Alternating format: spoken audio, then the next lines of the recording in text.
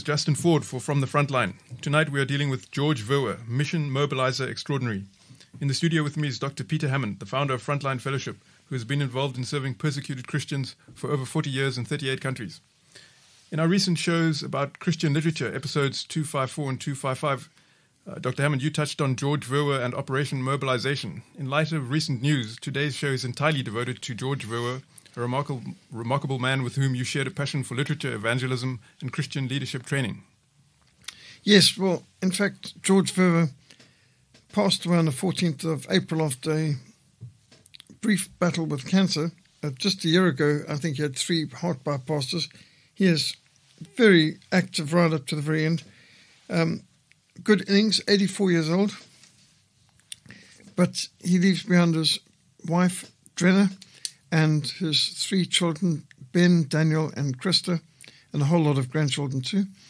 Uh, but it's so important that we focus on him because George Verwer is one of the great missionaries of the 20th century. He's one of the greatest of the missionary mobilizers. In fact, it's calculated he motivated and mobilized tens of thousands of missionary volunteers to proclaim God's love around the globe. And in many ways, he's really the, the initiator, the innovator of short term missions and the short term missionary movement. So, Operation Mobilization grew to be one of the biggest missions in the world, and out of it has grown many other great missions. So, uh, he really is a massively important figure. Uh, the global church has really lost one of its greats, and it's so important that we learn from this man who's joined the great cloud of witnesses. And you had a personal relationship with George Verwer. Yes, uh, he's a, a, good personal friend and a good friend of our mission and a co worker of Bill Bathman. My wife, Lenore, remembers Uncle George being a regular guest around their dinner table in their home in Salzburg in Austria. Um, he had what he called his 100 Gideon men, and uh, he said movers and shakers who um, who were going to change the world. And so uh, he said, Gideon had 300, I've only got 100, but he counted me one of his Gideon men, and we were privileged to be part of his special projects, uh, doing different assignments that uh, he was able to help us to fulfill. So George Verwer has been a guest here in this mission house. We've hosted him. I've been his guide and host and uh, driver sometimes, and magnificent to learn firsthand from one of the most colourful missionaries of all time. Can you tell us a bit more about what kind of man he was and how would you describe his personality and his physical appearance? Well, he is tall and he had a trademark uh, global vest. Uh, his, his, jacket was um, basically a world map, and uh, he had a massive inflatable uh, global ball that you'd blow up and then you'd toss around the pulpit and you'd spin around and point out, uh, you know, Mongolia, Afghanistan, India, and start to relate facts about these different mission fields as part of his look at the fields. Um, he was a very colourful person, not just in his clothing. Um, he is described as devout, energetic, single minded, visionary, goal oriented Uh, he described himself as having ADHD.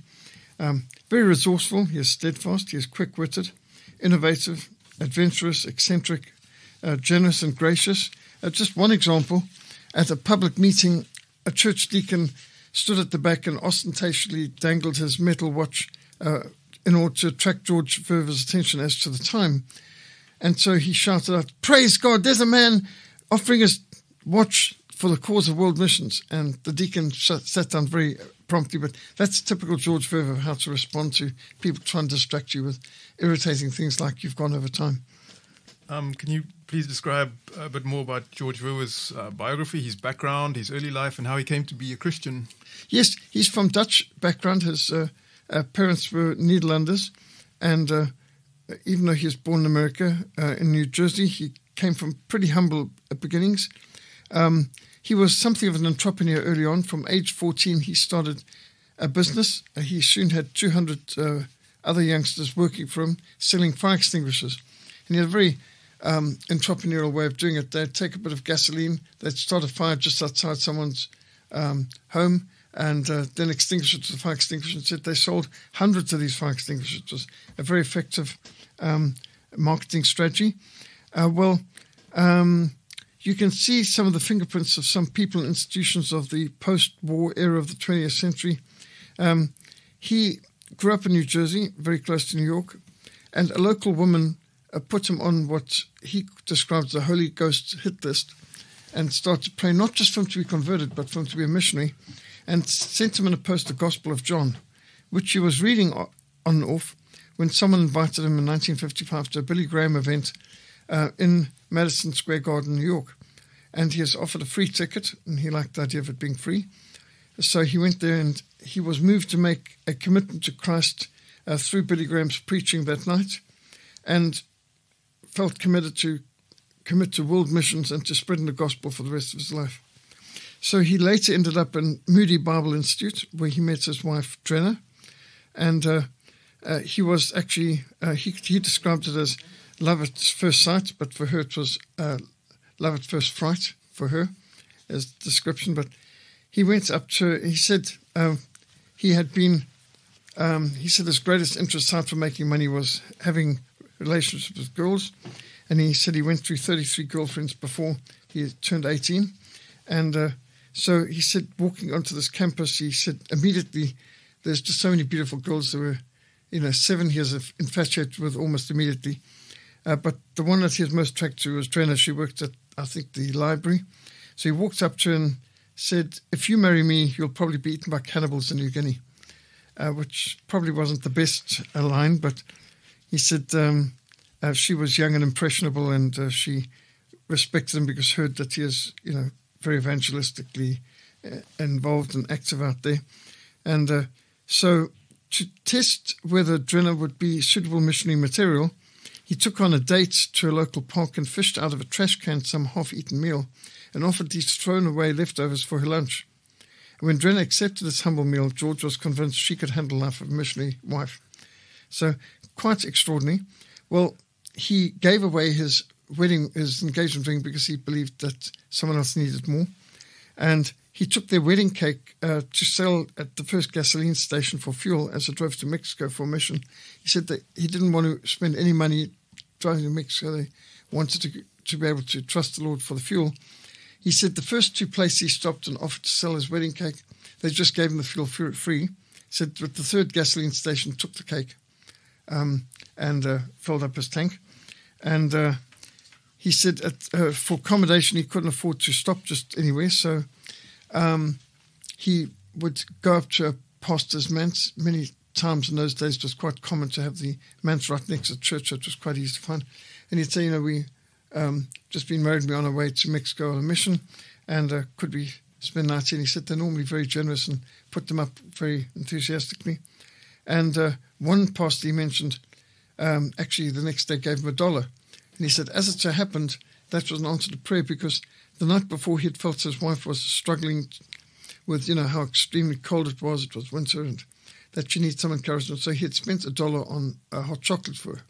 And uh, so he wanted this money back and had actually prayed that, that God would reimburse him the dollar because he wanted to reach Mexico the full amount of money for the different books and Bibles they wanted to buy to distribute.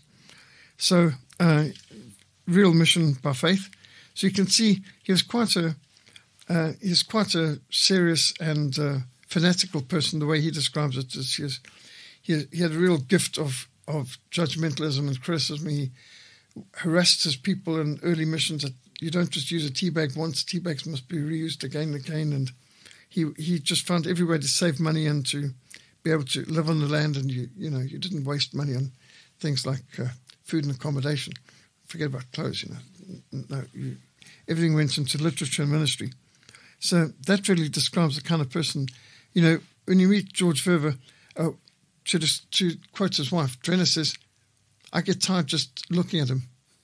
Uh, just to look at George Verwer makes you tired because he was such a hyper energetic person that uh, he made everyone around him um, exhausted. So we've heard that he made a commitment to missions. Um, can you um, elaborate on how Yes. the young George Verwer proceeded to fill that commitment? Yes, so he had a roommate at his college, and uh, so he was only 18 at this stage. We're talking about 1956. George Verwer and his uh, friend Dale Rhoton uh, prayed, and the moment they finished praying in this dorm room, this is in Maryville College of Tennessee, uh, George Verwer looked up and said to his uh, mate uh, Dale, "Well, are you ready to go?" And he had only just heard Verwer's idea that they sell everything they owned and use the money to buy a truck that summer to filter Spanish language editions of the Gospel of John and drive it to Mexico, where 70% of people didn't even have access to the scriptures. So uh, immediately uh, Dale said, George, it takes longer than that. I mean, he'd only just heard about this idea and he wants to sell everything and join this operation. And George Verwer said, Well, I don't see why it should. Um, you know, there's a need, we can meet that need, uh, the rest just doesn't really matter. And so um, his friend Dale wrote and said, his one all consuming passion in life has been to be a channel whereby people will become lifelong friends of Jesus. His comfort zone is breaking out of his comfort zone. The only time he feels really secure is when he's risking everything. So um, that's really how he got involved. It was Mexico was the first missions, but he did open air preaching. He was a real outdoor go and um, whether it's door to door or um, in the streets, uh, he would be preaching and challenging people right from the beginning. And what was the ultimate fruit of George Verwer's um, trip to Mexico? Well, that's really out of which his mission grew out. Uh, at first, he called it Send the Light, um, which later on he launched a literature ministry of Operation Mobilization known as Send the Light Trust, which became the biggest literature ministry in, on earth. Uh, so his favorite hymn was Send the Light. And um, you could say it all started in 1957 when he did his first cross border mission into Mexico with Walter Borchard and Dale Rhoton. And the main goal was distilling literature and gospels. And uh, literature has always been a key part of the work. So he literally wrote the book on literature evangelism. Literature and evangelism describes all of his life's work in many ways. And so after 1960, they turned to Europe, and of course, they'd been learning Spanish for ministering in South America. So it was logical to go to Spain, which in 1960 was a closed country. It was under the um, Roman Catholic aligned um, government of, of, Franco, and they had a concordat with Rome that they wouldn't allow any Protestants into the country.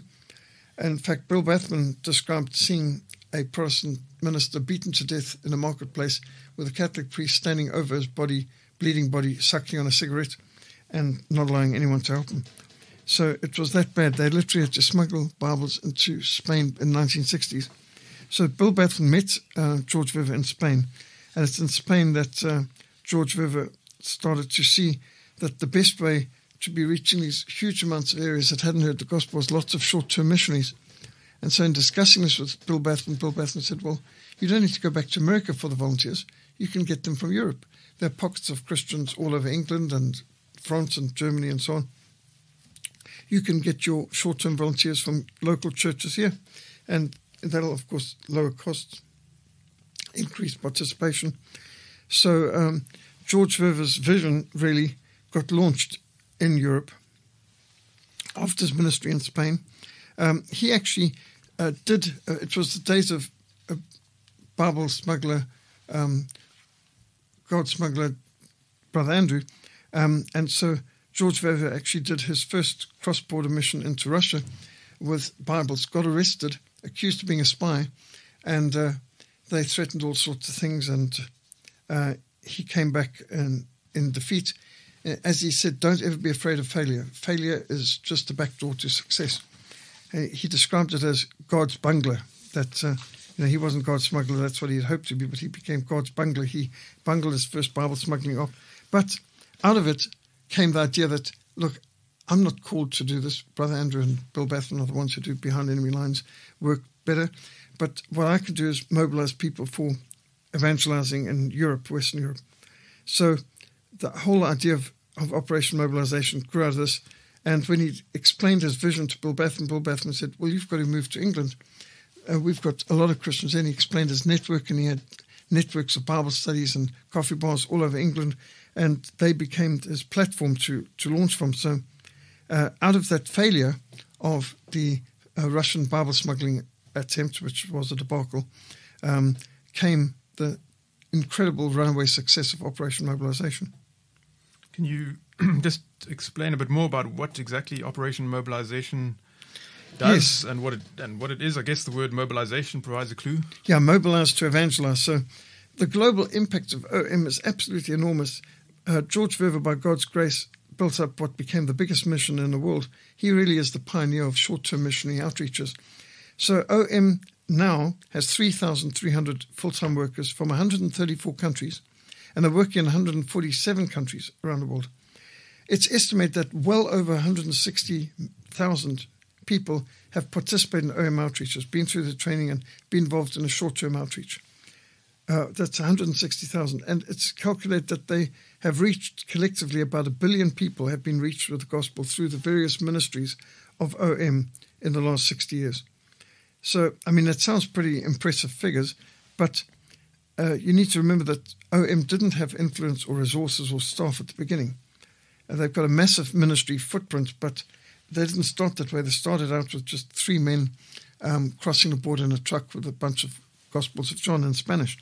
And uh, when I first met George Verwer, it was at a Stellenbosch University sending mission week. And he had just spoke in, a Studentenkirk, which was packed out. And as he walked by in the hallway uh, to get out of the church, um, I reached out a hand and I stated, I'm the son in law of Bill Bathman. And at this, George Verwer stopped immediately. He whirled round and he exclaimed, Bill Bathman is the reason there is an Operation Mobilization. And George related to the people standing around how Bill Bathman interviewed him in Spain, invited him to come for a series of meetings in England, and Bill Bathman's organization Network provided the platform and initial recruits for Operation Mobilization, including Mike Evans, who ended up marrying uh, a, a, French woman and running OM in France. Later, Mike Evans became principal at the Geneva Bible Institute, which I've done meetings there with him. Uh, when I first met Mike Evans, he was speaking at the ministers' conference at KwaSizabantu Mission, and as Bill Bathman and I walked in, he shouted across uh, the auditorium, Bill Bathman is a very dangerous man. He invited me for one summer outreach, and it ended up being a lifetime, 30 something years and counting. Um, ended up moving to France, learning French, marrying a French woman, and uh, all that. And he said, uh, you know, it all started with Bill Bathman. It's all his fault my whole life was uh, sidetracked into this. And uh, interestingly, uh, in 1962, OM's first short term missions teams moved into Europe. And they came from Britain, Spain, Germany, Netherlands, Switzerland, the US, and elsewhere. So they had 200 in their first summer outreaches. The next summer they had 2,000. And it kept growing until they've now had 160,000.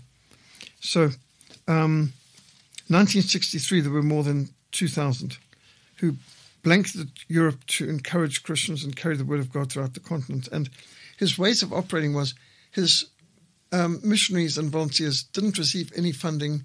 They didn't receive um, anything more than books to sell, books and Bibles to sell. So they took little, what he described as card tables, collapsible tables that you'd set up in a bus station, train station, and they'd have to sell books. If, if they sold books and Bibles, they'd have money for next train tickets, uh, place to stay, and food. If not, well, they'd starve tough. So basically, the whole operation was run on literature ministry and selling books, selling books and Bibles, and it was quite effective because uh, they even managed to move into countries where the Bible was illegal, such as Spain. And, you know, the whole idea was, but you're not allowed to do Protestant ministry here.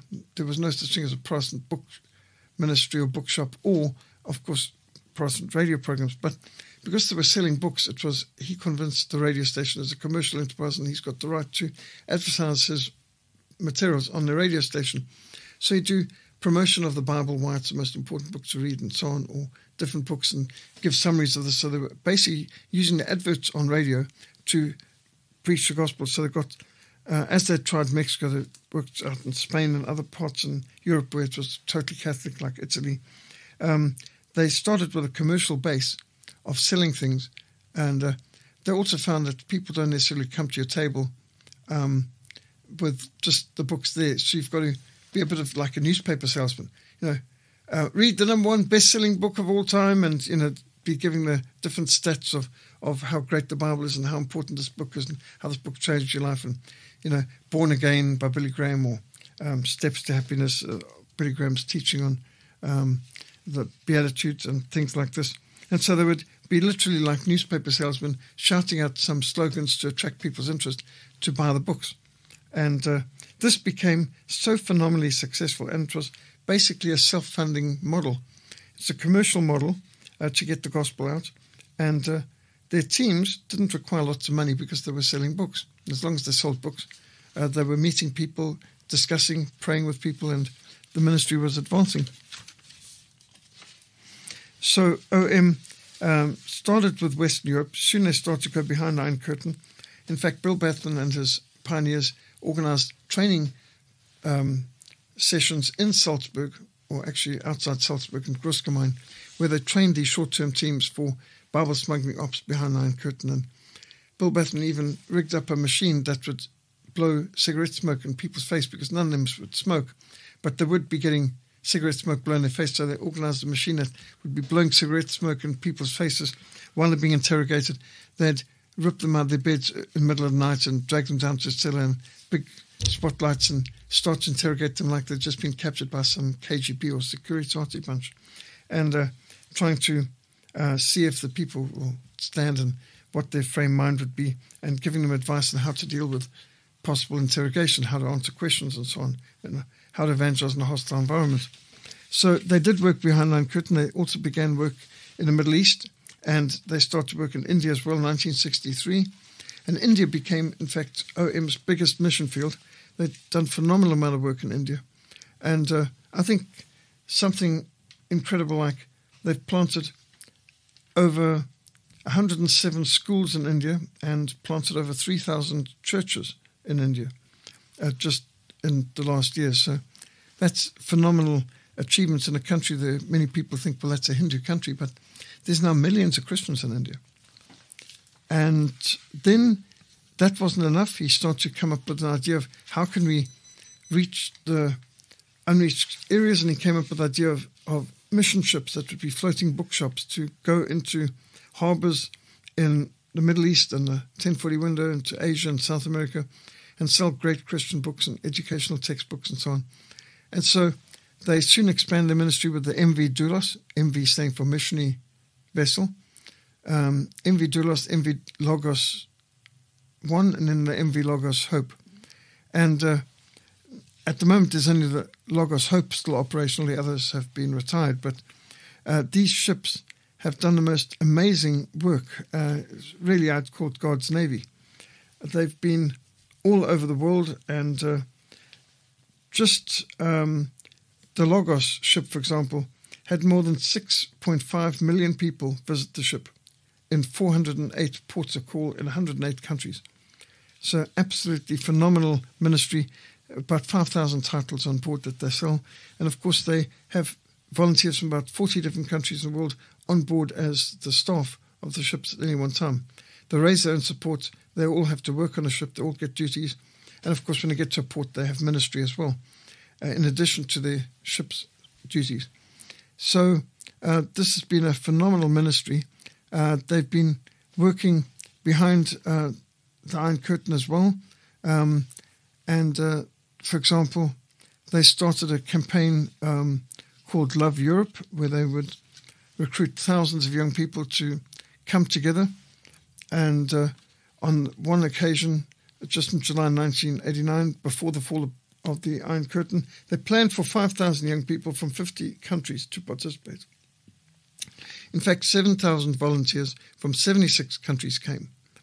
And this was the beginning of the Love Europe conference, which um, basically was a, a summer evangelism mobilization program. And I've been ministering in different parts of Europe and suddenly seeing an OM team singing or doing a drama in the middle of the market square, doing open air preaching in the local languages, such as in Belgium. So uh, they, they go far and wide. Um, can you elaborate a bit more on the floating um, bookshops, which seem to yes. be probably the most uh, famous? Well, yes, we've had them come in Cape Town. My children have been standing at the docks waving Christian flags while the Doulos of the Logos came into port and Salvation Army Band was playing. It's quite an exciting event. So uh, OM operates um, Logos Hope, MV Logos Hope. Um, tragically, uh, the first ship they purchased, the MV Logos, ran aground and sank off Tierra del Fuego um, in, off the coast of Chile. Now it's something of a tourist attraction see the wreck that's um, still visible uh, on the rocks there. Uh, it was atrocious weather conditions, 1988. The ship couldn't be saved, but not a single crew member was lost. Nobody was even injured. Uh, but you can imagine it's massive disaster when you lose an entire missionary ship went down. Uh, but uh, they've replaced that ship with with uh, the Logos Hope now, and uh, it had already had six and a half million people visit the ship in 108 countries. So Logos had been well used. Uh, then they got another ship. The Antonio Lazaro became the MV Logos 2, um, which served for several years before being retired in 2008. the third ship of Logo of Operation Mobilization was the MV Doulos, Doulos meaning servant or slave, actually. And it's held the record for being the oldest ocean going ship still in service. And Dave, George liked to say that the Doulos was launched the same year that the Titanic was, but the Doulos is still afloat. The owners of the Titanic boasted that not even God could sink the Titanic.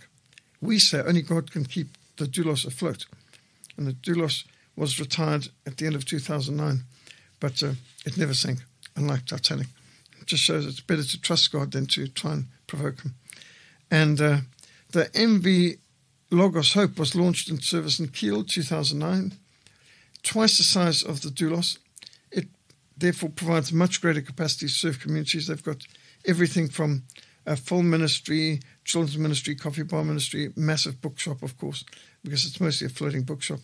And so the OM ships have visited port cities throughout the world, including Cape Town, supplying literature, encouraging cross cultural understandings. And when their teams arrive, they have advanced teams, but then all the ship's crew go on shore during the day and they do outreaches in different schools and churches in the marketplace all around town. So they're going out while people are coming to visit the ship and where they're selling books and having ministry too. So it's a very dynamic, multifaceted ministry. And uh, wherever there's ministries for opportunities, I might add they've been able to sell hundreds of thousands of Christian books, even in Muslim closed countries, but not in China. China wouldn't let them sing, sell a single book when they went to Shanghai.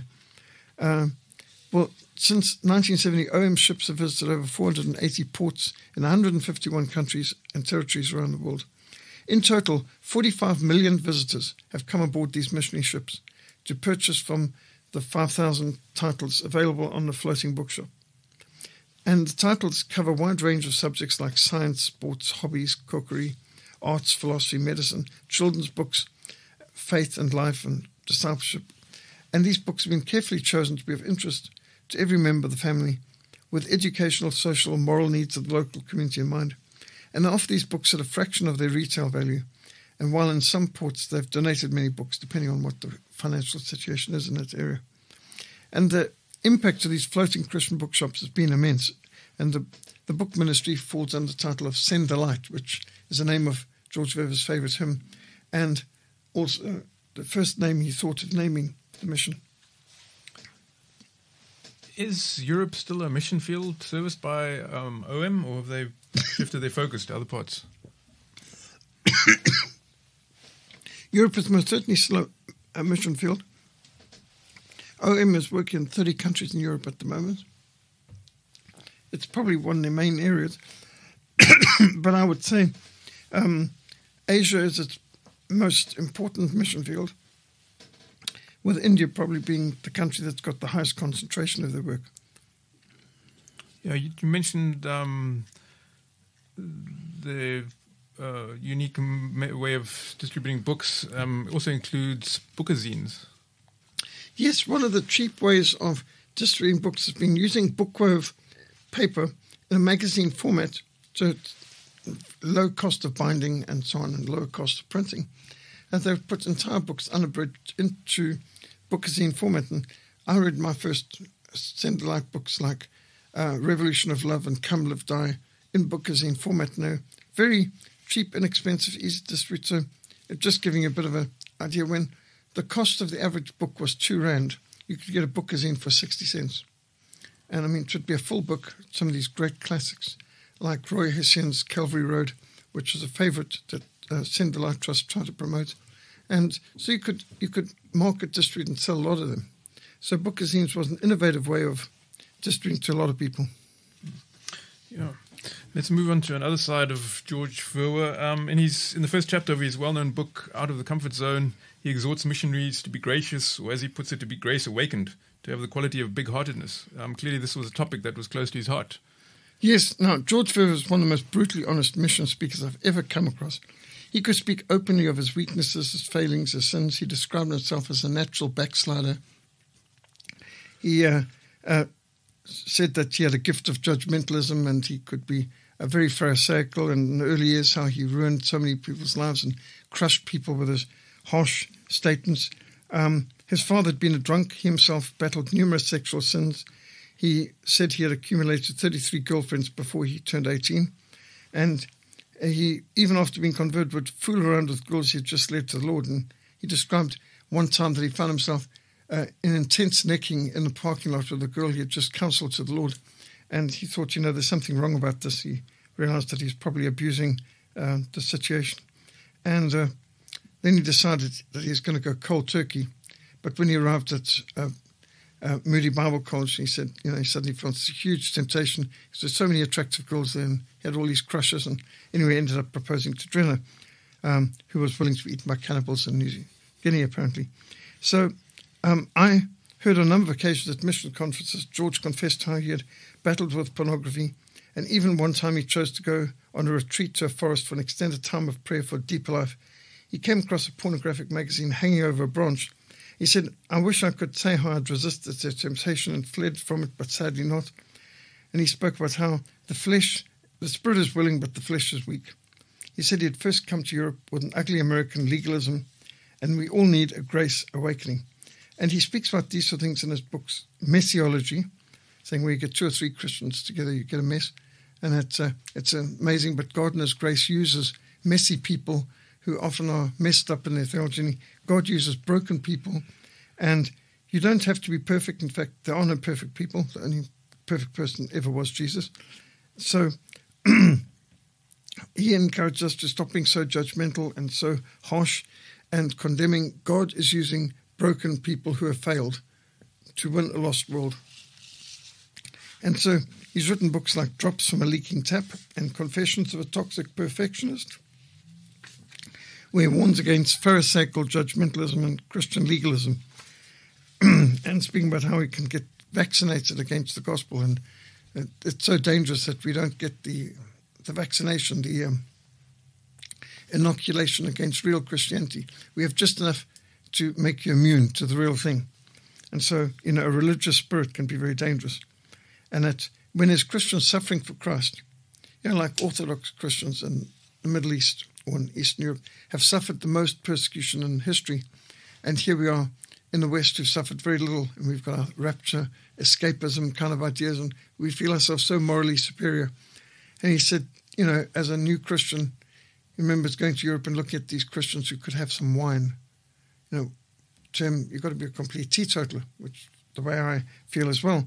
Uh, but when you see Bible believing Christians who who've taken some wine with their suppers, of course they're against drunkenness, to look down them or to look and say, oh well, those girls are wearing trousers or earrings or some makeup, therefore uh, they can't be Christians.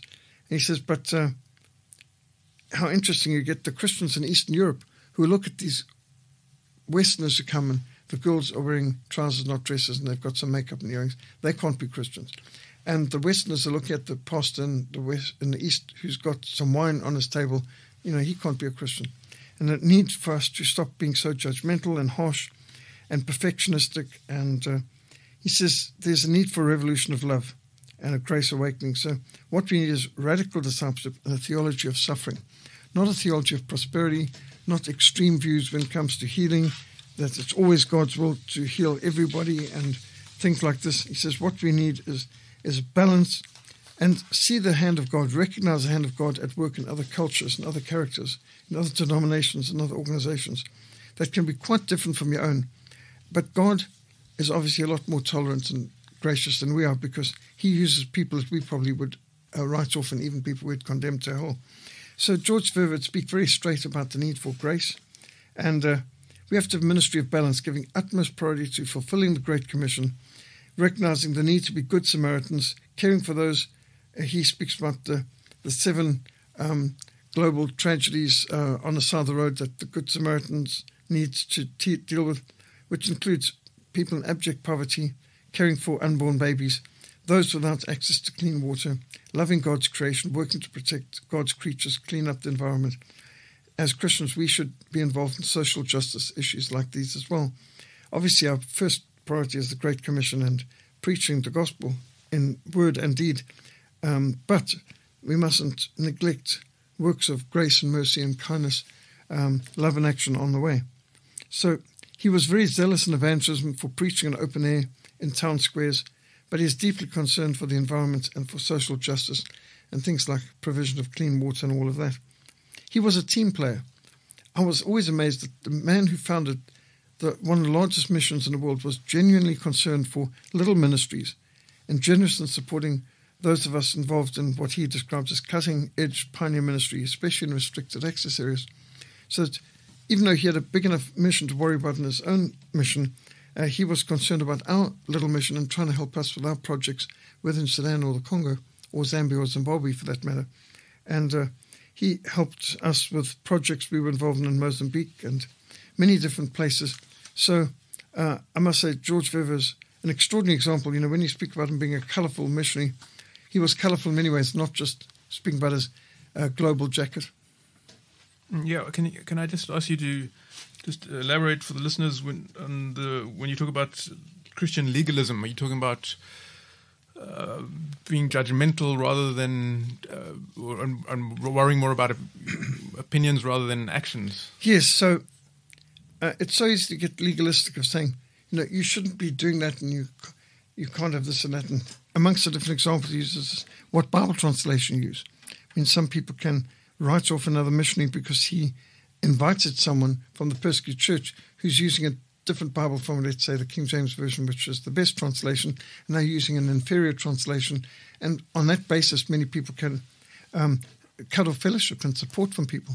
Uh, there's also, you know, this person comes from a sinful background. This person, um, you know, was involved in whatever it may be, came out of a homosexual background or uh, drugs, drink, uh, was a criminal, was in prison, whatever it was.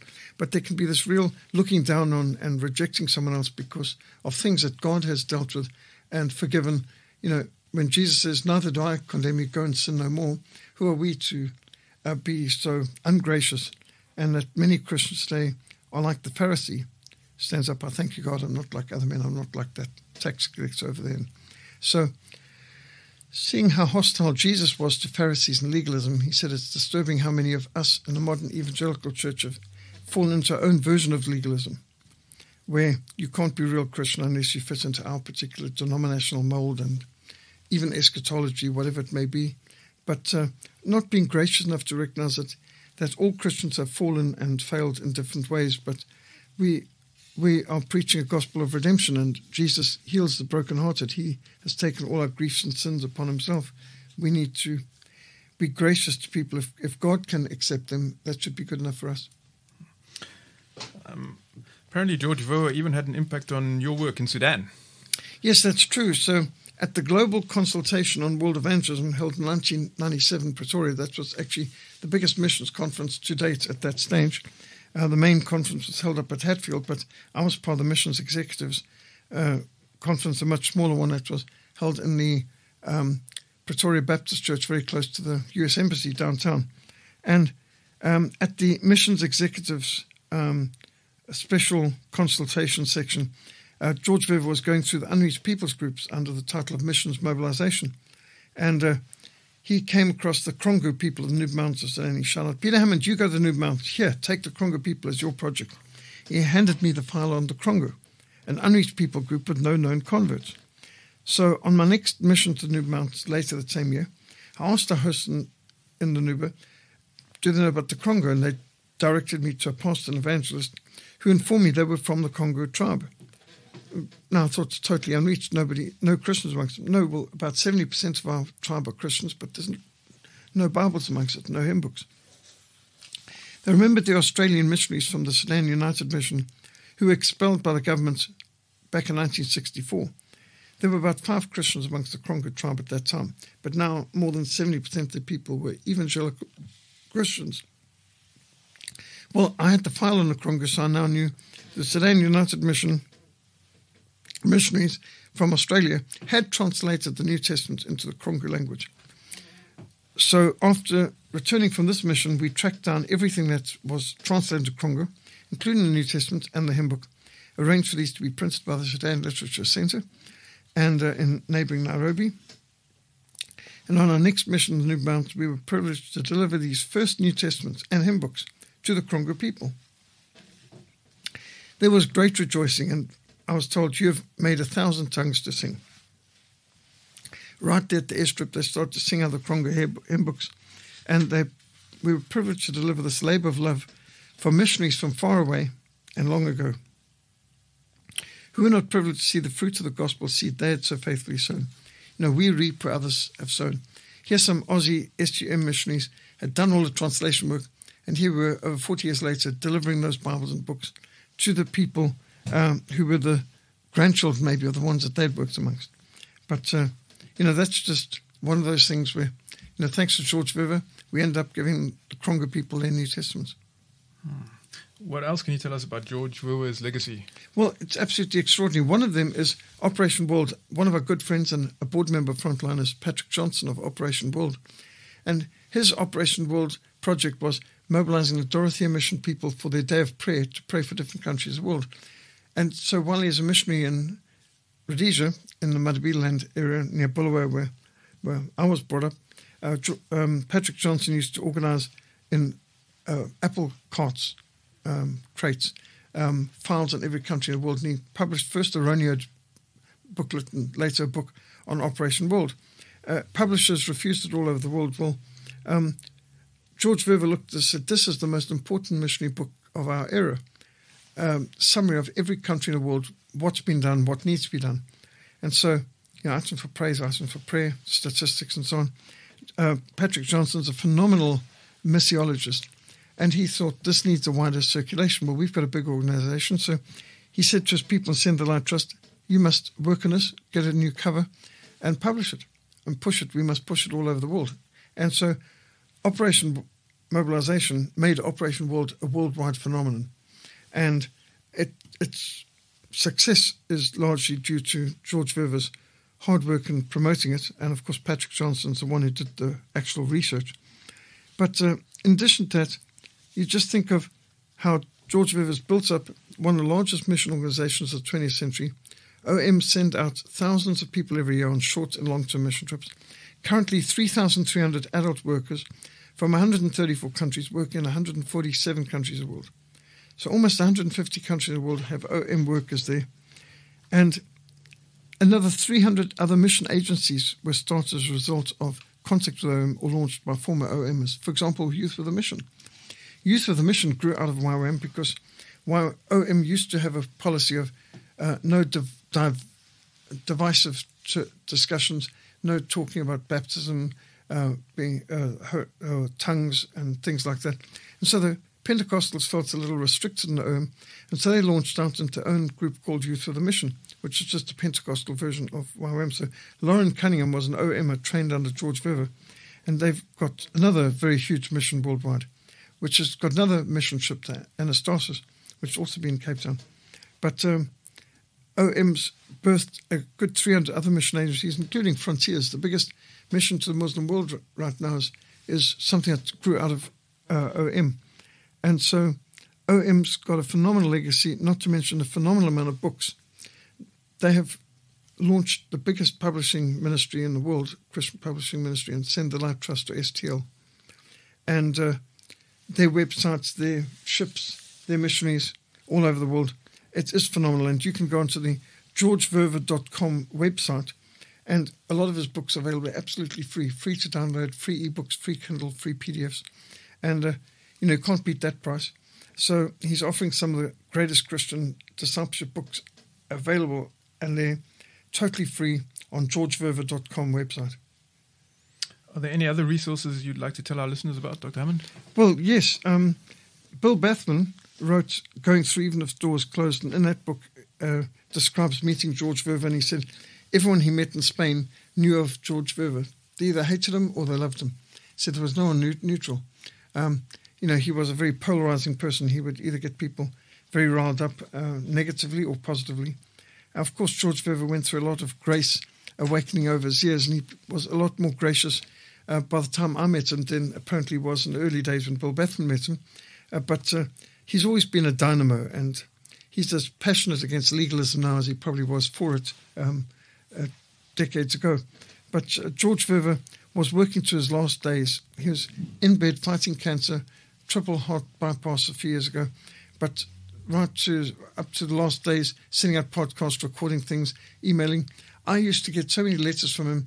You know, I'm I'm in the airport in Singapore about to take off, or we just arrived in Hong Kong, and you know, wherever he was around the world, he'd be writing some message and sending it off there. So he used his time in the airport terminals or when being driven.